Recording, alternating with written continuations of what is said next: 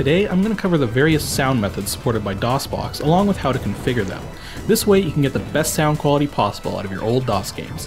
But before I begin, I'd just like to point out a couple of common mistakes you might make across the entire range of sound support in DOSBox. Firstly, there's a special section called Mixer in the DOSBox configuration file. The rate parameter specified here is the maximum sound frequency rate that will be audible, regardless of what you set any of the other sound rates to. For instance, if this is only set to 22050 and you set the Gravis ultrasound rate to 44100, you're still only going to hear 22050 sound. The maximum limit possible will depend on your operating system and the type of sound chip or card you actually have but 44100 is usually high enough. Higher than that, and it becomes rather difficult to discern the difference. And secondly, whenever you're trying to get a game working, always keep in mind that auto detection routines in the game itself could be the culprit for problems. Turning various sound supports off or changing the modes they're operating in, even if the game doesn't support them, can go a long way towards solving non-audio problems such as crashes and lockups. Failing all that, just try to bypass any auto detection the game has itself and attempt to configure things manually. Now, let's get to the sound devices themselves.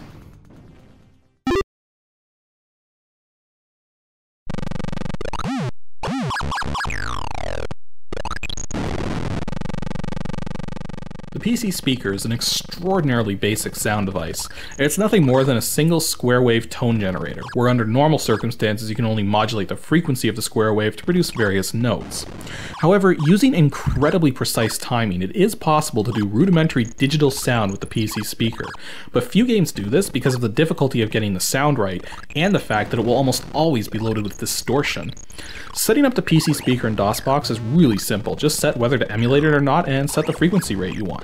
Higher frequency rates result in more accurate emulation of the sound, but requires more processing power.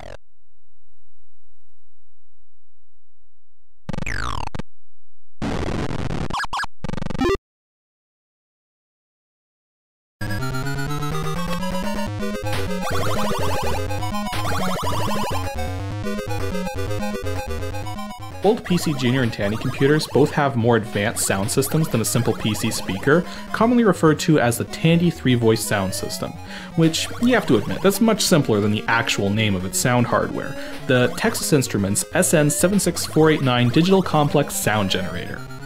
Just rolls right off the tongue. This sound chip is capable of generating three square waves at once that can all be set to independent volume and frequency levels, as well as a white noise generator, which can be used for explosion sound effects or other things like that. Now, do those specs sound familiar? Well, you must own a Sega Master System because it uses roughly the exact same sound chip, just with some minor differences. Setting this up in DOSBox is kinda simple. Normally DOSBox will only activate Tandy sound if you also set the machine type to Tandy. You can get around this by manually setting the Tandy mode to on, but keep in mind some games still won't support Tandy sound unless you're also playing in a Tandy graphics mode. Oh, and you can also set the frequency rate as well. Later Tandy systems actually had more advanced sound support referred to as the Tandy DAC, and is comparable in quality to early Sound Blaster cards. A few games utilize this, but DOSBox will support them nonetheless. You may need to turn off Sound Blaster support though for Tandy DAC support to sound its best.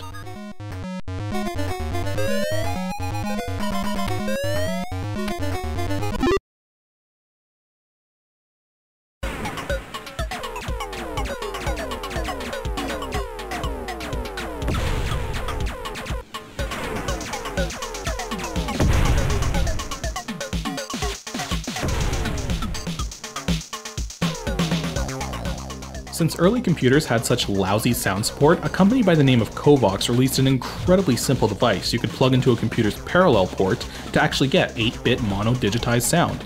This device was in fact so simple that many people opted to just build their own variant themselves. Even Disney came out with their own variant that sold for a mere $14. Well, even by today's standard, that's pretty cheap for a sound card.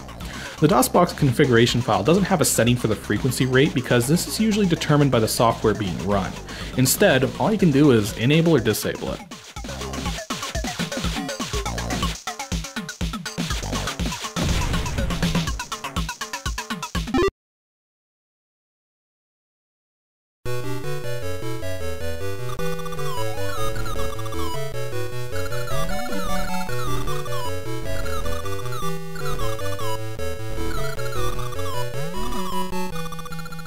Before Creative Labs debuted their Sound Blaster series of cards, they instead had a card called the Creative Music System, which used two Philips SAA 1099 sound chips to produce 12 channels of square wave tones and white noise.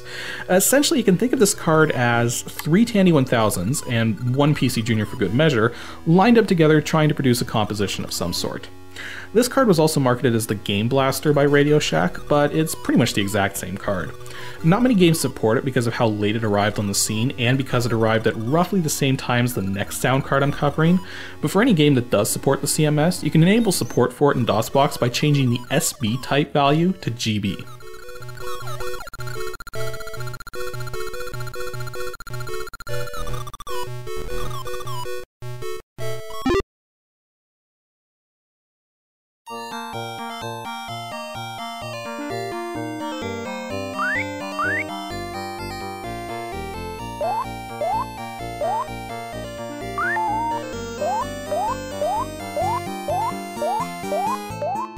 Getting music into a DOS game was always tricky because of the lack of sound channels or the lack of memory to handle a fully digitized track.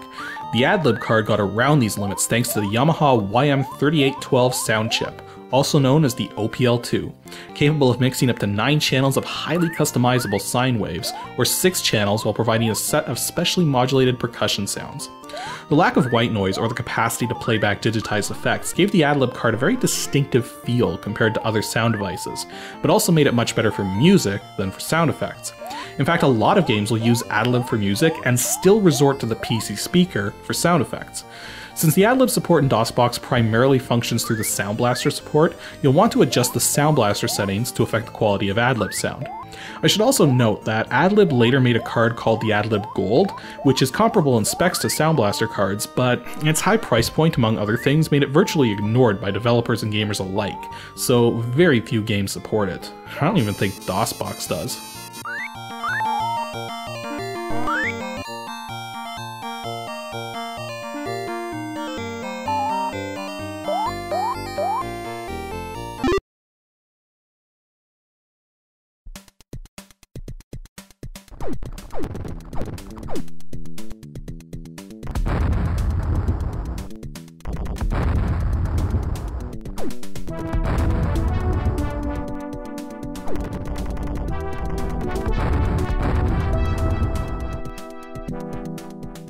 There are a plethora of Sound Blaster cards, all with various feature sets, but every single one of them has at least three basic functions.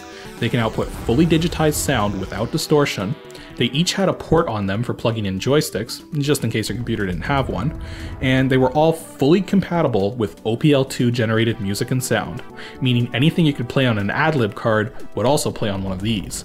And this is kind of why AdLib failed to get anywhere.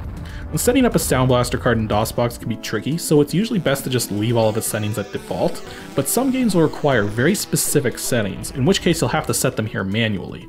If you do change these defaults, then make sure they don't conflict with the Gravis Ultrasound settings further down, or just disable GUS support completely.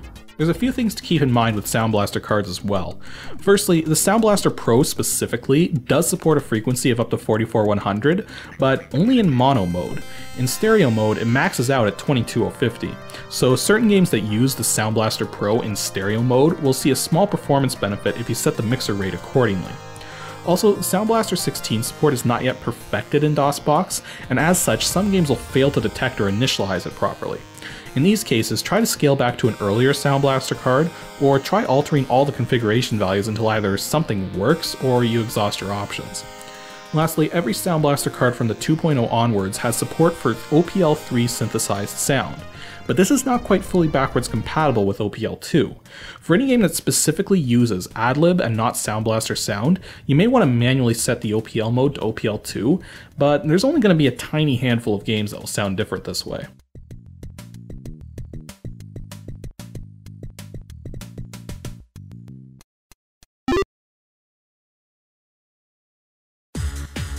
Round one. Bye.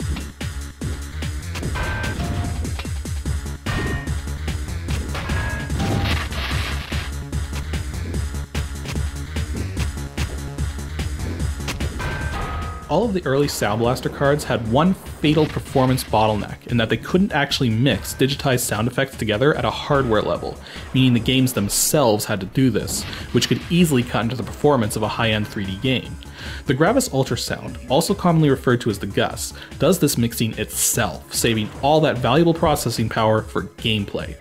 The only trouble with this approach was the GUS cards had limited amounts of memory to store the digitized sounds it would play back, so games utilizing the GUS would occasionally experience small delays as it shifted sound effects into and out of its internal memory. Setting up the GUS in DOSBox is fairly simple, you just have to set its mixing rate and its various addresses, but if you intend to play back MIDI music using the GUS in DOSBox, you also need to manually install some actual Gravis Ultrasound files into the directory indicated by the UltraDir parameter.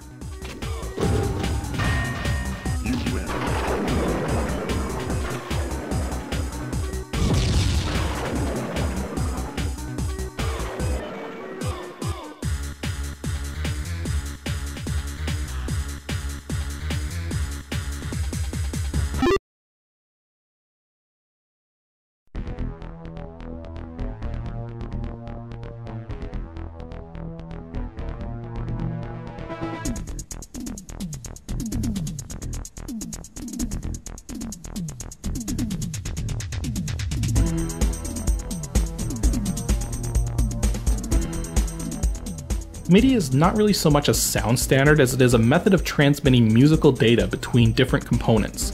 But MIDI generated music is infamous for never sounding the same between different systems and sound cards. Essentially, MIDI music will only sound right on the exact same kind of sound hardware it was originally developed for. A company by the name of Roland created several high-end audio cards specifically designed to work within MIDI standards, while still providing a means to have high-quality sound effects preloaded and played over MIDI as well.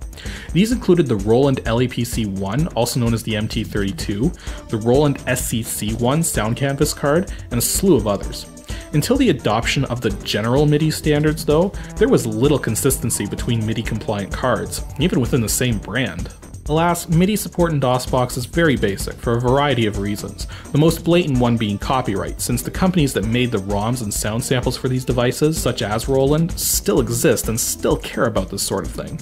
Instead, what DOSBox does is route the MIDI commands through to your operating system, which will either play those sounds directly using the MIDI component of your actual audio hardware, or through additional emulation layers you have running in the background, such as MUNT, which is an MT32 sound emulator, but even that requires you to supply your own copies of the MT32 ROM data. There is one particular DOSBox setting to pay attention to in the MIDI section, the MPU 401 setting. Normally this is set to intelligent, but a handful of games may not work properly with this set this way, even if they don't have general MIDI support. In this case, changing the setting to UART or none will possibly solve these issues. There were other cards released in the DOS days as well, and I'm not going to mention all of them since there's virtually nothing out there that only works with such cards, though there are a couple worth noting. The IBM Music feature card was one of the earliest and one of the best for MIDI music, but was ridiculously expensive, so very few games supported it. There were also a series of cards released by MediaVision, dubbed the Pro Audio Spectrum. Now, these cards were somewhat similar to Sound Blaster cards and are actually compatible with them. So DOSBox doesn't emulate these cards because there's almost no reason to. Any game that supported the Pro Audio Spectrum directly usually supported Sound Blaster as well. It would take forever to cover all of these audio cards in detail, so I'm going to end things here. Stay tuned for episode 46 of Ancient DOS Games, where I'm going to be taking a look at an old 3D game that isn't actually rendered in 3D, but rather it's rendered using two 2D views, both an overhead and a side-scrolling view at the same time. If you know which game plays like that, then send your guest to adg at pixelships.com and stay tuned for next Saturday to see just how unique and difficult this game is.